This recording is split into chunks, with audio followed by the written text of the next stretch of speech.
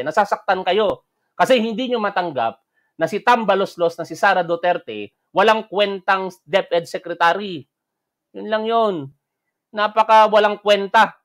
Bakit walang kwentang DepEd Secretary yan si Sara Duterte? Pero inyo, hindi man lang niya gawa ng paraan itong balita na ito nung January pa, inuuna pa ang pamumulitika. Ano ang nakalagay dito sa balita? Ikalawa, ang pinaka sa pinaka worst ang Pilipinas sa mga grade 5 student, students pagdating sa pagbasa, pati pagdating sa math skills. Yan dapat ang inuuna ninyo, mga tambaloslos. Sabihin nyo yan doon sa vice presidente nyo. Nak ng teteng kayo. Papasok-pasok kayo dito tapos hindi nyo matanggap na tambaloslos yung sinusuportahan ninyo tapos magsasalita kayo ng gago. Gago kayo, gago. Nak ng teteng kayo. Mga hinayupa kayo. Teka lang ha, hindi ko kasi makita eh. Pakita natin yung mga profile picture ng mga gago na yan. Ng teteng kayo, wala akong pakialam sa inyo ha. Kayo ang pumapasok dito sa page ko. Kaya kayo ang nagpapakagago sa panonood sa akin kung ayaw ninyo sa programa ko. Kasi ang mga nandirito, mga talagang supporter ni Pangulong Bongbong Marcos. Mga totoong, mga nagmamahal at sumusuporta kay Pangulong Bongbong Marcos, hindi sa tambalos-los nyo. Mga anak ng teteng kayo.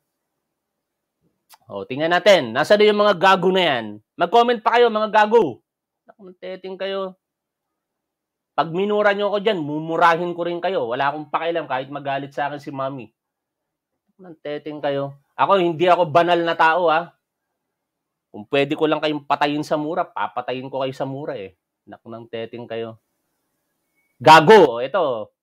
Oh, ito, tingnan natin to. Oh, yan, oh. Isa ring gago ito. Oh, gago ka, Ireneo Biaca Jr. Ah, isa kang malaking gago. Lumayas ka dito sa page ko. Di kita kailangan dito nagsusumiksi kayo sa page ko, hindi ko naman kayo kailangan dito. Eh. Isa kang gago. Inuulit ko sa iyo, Ireneo Biaca Jr., isa kang gago. Ha? O, layas. Mantetin kayo. Lumayas kayo rito. Humingi kaya ako ng ayuda kay Nino Barsaga para mapagmumura kayo rito, mga gago. O, tingnan pa natin yung mga gago dito. Sino pa yung mga yan o. Ito pa, itong si Emmanuel Pacon, isa ring gago ito.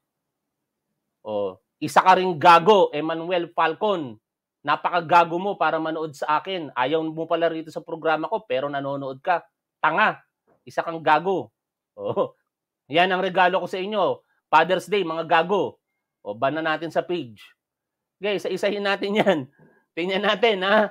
Tingnan natin yung mga gago na to.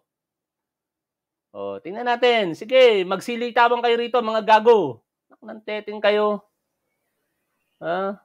Wala nga wala nang nagagawa yung tambaluslos nyo. Pinagtatanggol nyo pa. Ipagtanggol nyo doon sa page ninyo, hindi rito. Pag-aari ko to. Teteng kayo. Yung sinasabihan ng tambaluslos, ng tambaluslos nyo, eh nagtatrabaho walang ginawa kung hindi magmalasakit sa taong bayan, hindi namumuliti ka. Samantalang kayo, wala kayong ginawa, pamumuliti ka kagad ang ninanais ninyo. Ang aga-aga pa, isang taon pa lang, wala pang ang isang taon sa panunungkulan. Gusto na kagad maging presidente, napakakapal ng pagmumukha ng tambalos-los nyo. Tingnan nyo, si Speaker Martin Romualdez, tahimik na nagtatrabaho. O, basahin po natin ha, ilan po sa mga press release ni Speaker Martin Romualdez ng kanyang uh, staff, syempre. Mga nasunugan sa Quezon City, Mandaluyong sinaklolohan ni Speaker Romualdez at saka ng Tingog Party List. O, nagpadala ng tulong ang tanggapan ni na Speaker Ferdinand Martin G. Romualdez at Tingog Party List Representatives Yeda Marie K. Romualdez at Jude Asidre sa mga nasunugan sa Quezon City at Mandaluyong City. Bukod sa relief goods, tumulong din ang tanggapan ng mga Romualdez at ni Asidre upang agad na maibigay ang cash assistance sa may 331 pamilya sa ilalim ng assistance to individuals in crisis situations program ng Department of Social Welfare and Development na pinamumunuan ni Secretary Rex Gatchalian. Ang mga tinulungang pamilya ay ang mga nasunugan sa Barangay Addition Hills sa Mandaluyong City at Barangay Bagbag sa Quezon City noong Hunyo 14 at 15. Sabi po dito ni Speaker Romualdez, I quote, The financial aid is part of a government program given to distressed individuals. I hope this small amount from DSWD can help ease the pain of the families who lost their homes to these fire incidents. Nakatanggap ng tig 10,000 piso ang bawat isa sa 206 pamilya na nasunugan sa Pascual Street sa Barangay Bagbag, Quezon City sa isang simple payout ceremony sa Remarville Basketball Court noong Sabado. Ganito rin ang natanggap ng 125 pamilya na nasunugan sa F. Martinez Barangay Addition Hills sa Mandaluyong City. Nagpasalamat si na Mandaluyong City Representative Neptali Boyet Gonzales II at Quezon City Representative Patrick Michael P.M. Vargas sa tulong ni Speaker Romualdez at ng Tingog. Sabi po dito nitong si Congressman Gonzales, On behalf of the families affected by the fire in Mandaluyong, we express our sincerest gratitude to Speaker Romualdez and Tingog Party List for extending financial aid at a time that it is most needed. Please bear in mind that this act of love and compassion will not be forgotten. Oh, kaya sa 2028, pero mauuna ang 2025 sana tumakbo sa pagkasenador itong si Speaker Martin Romualdez at iboboto natin. Lahat ng mga sumusuportang politiko kay Tambaloslos, ibo-boycott ni Type 1. Ewan ko kung kasama ko kayo sa pagbokot, boycott sa mga yon. Ito, thanks to Speaker Romualdez, sabi naman po ito ni Vargas, and party list Timog, these families can get back on their feet and rebuild what was lost. We are very thankful for this grand gesture. It gives hope to the people. Ang mga nasunugan sa Mandaluyong City ay pansamantalang tumutuloy sa temporary shelter sa Tanglaw Covered Court in Block 19A. Nagpasalamat naman si Barangay Addition Hills Kapitan Carlito Cernal sa mabilis na tulong na ipinarating ng Speaker Romualdez at Tingog Party List sa kanyang mga kabarangay. Ang mga nasunugan naman sa Quezon City ay pansamantala namang tumutuloy sa Remarville Basketball Court. Nagpasalamat si Barangay Bagbag Captain Rex Ambitasa sa tulong na ipinarating sa kanyang mga kabarangay. Sinabi ni Asidre sa mga nasunugan na ang pagtulong ni Speaker Romualdez at Tingog ay sukli sa kabutihang loob na ipinakita sa Tacloban noong salantain ito ng Bagyong Yolanda. Ang tulong mula sa IX at ang relief goods ay simbolo umano ng tingog o boses ng mga biktima ng sunog at tugon ni Speaker Romualdez at ng Tingog Party List dito. Oh, si, pa, si Speaker Romualdez nagtatrabaho. Samantala yung tambaloslos nyo, walang ginawa kung hindi mamasyal ngayon sa ibang bansa at hindi mawari kung talaga bang nakakatulong ito sa Department of Education. Kasi bakit? Noong January 2023, ito po ang balita, oh. Nakakahiya. Pero mo, vice presidente pa man din ang nakaupo dito sa Department of Education, pero hindi matugunan ang pangangailangan ng ating mga mag-aaral, partikular ang grade 5 students. Sabi dito sa balita, Manila, Philippines. Napanood ko kasi ito kay Dante Maravillas, by the way. Ah, kanina, nag, uh, kahapon, nag-upload si Dante Maravillas ng video at napanood ko. Aba, hanggang sa ngayon pala hindi natutugunan ito ng ating Secretary ng Education kasi inuuna walang iba kung hindi pamumulitika eh. Oh, Manila, Philippines. As most grade 5 students in the Philippines and its poorer neighbors do not have the minimum reading and mathematical skills expected at the end of primary education.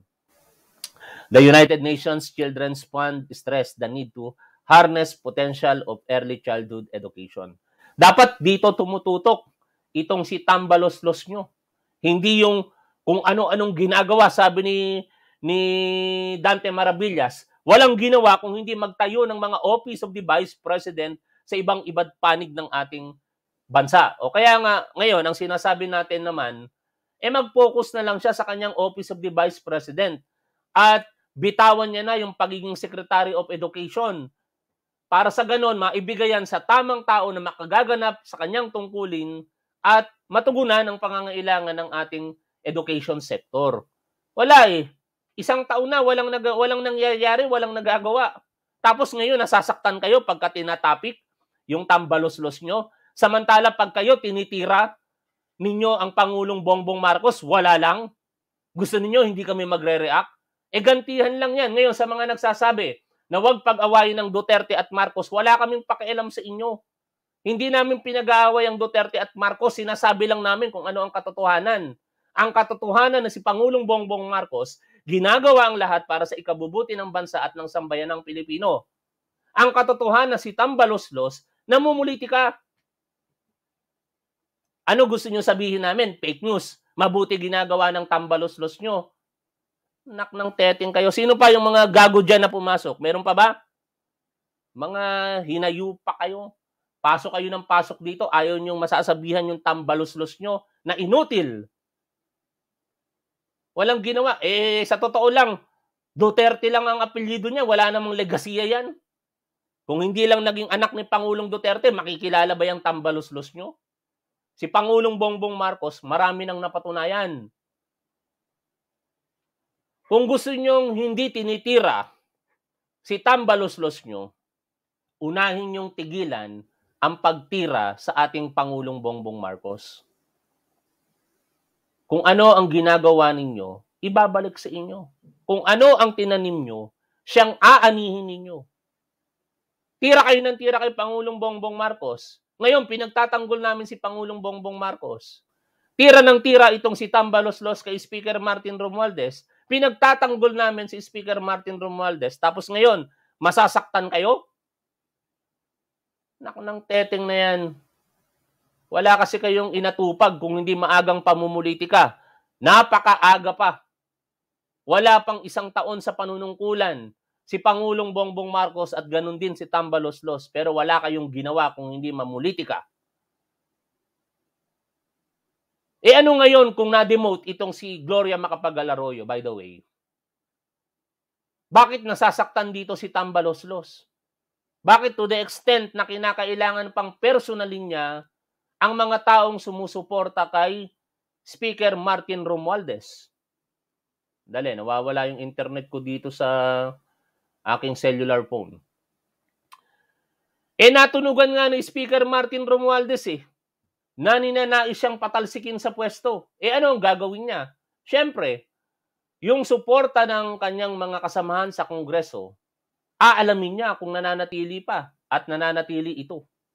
Kaya naman napagkaisahan nila at pinagbotohan nga nila natanggalin na itong si dating Senior Deputy Speaker Gloria Macapagal Arroyo at palitan ng isang kongresista mula din sa Pampanga na merong tiwala siyempre si Speaker Martin Romualdez. Yan ay hindi lamang kagustuhan ni Speaker Martin Romualdez. Kagustuhan yan ng majority ng mga kongresista.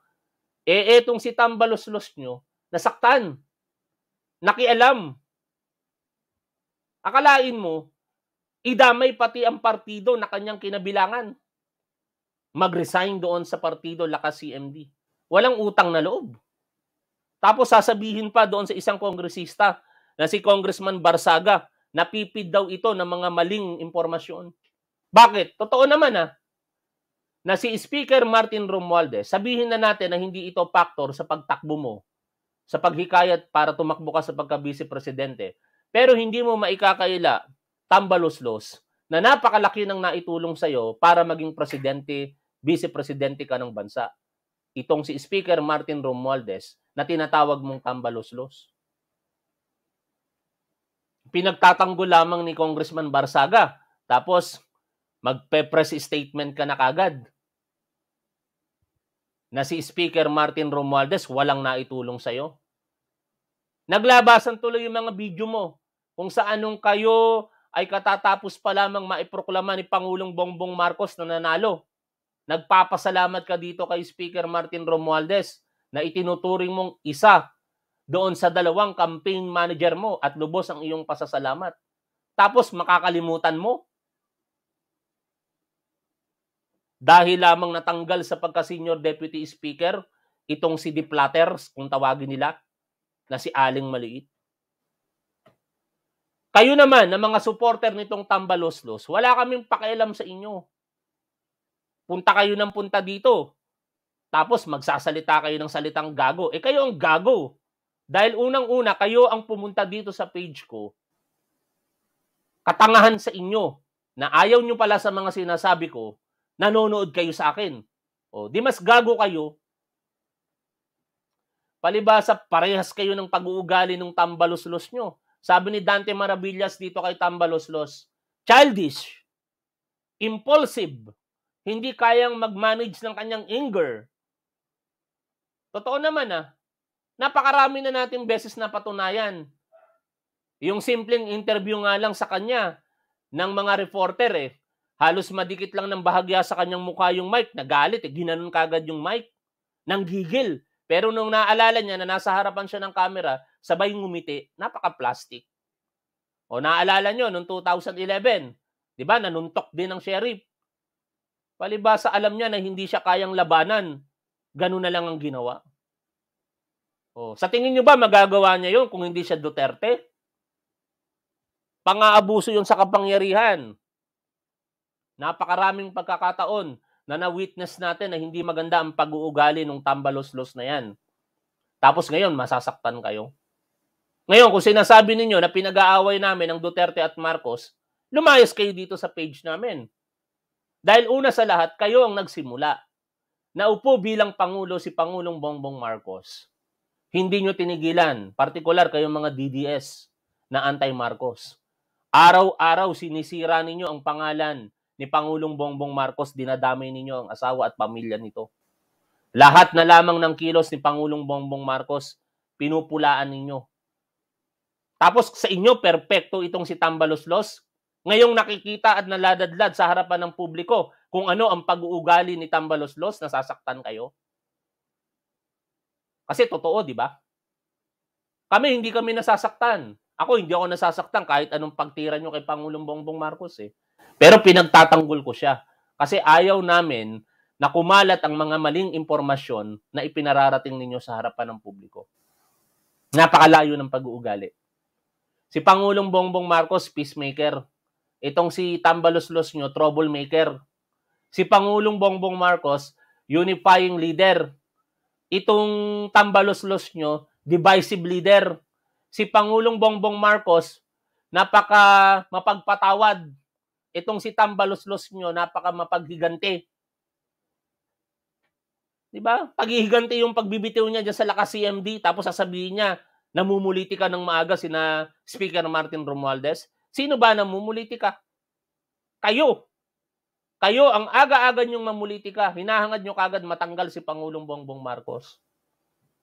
Wala kayong ipinalangin sa araw-araw kung hindi mapahamak si Pangulong Bongbong Marcos. Noong nagkaroon ng aberya, nung nakaraang araw sa pagpunta ni Pangulong Bongbong Marcos papunta sa South Cotabato, ang daming mga natuwa sa inyo. Akala niyo naman magtatagumpay kayo.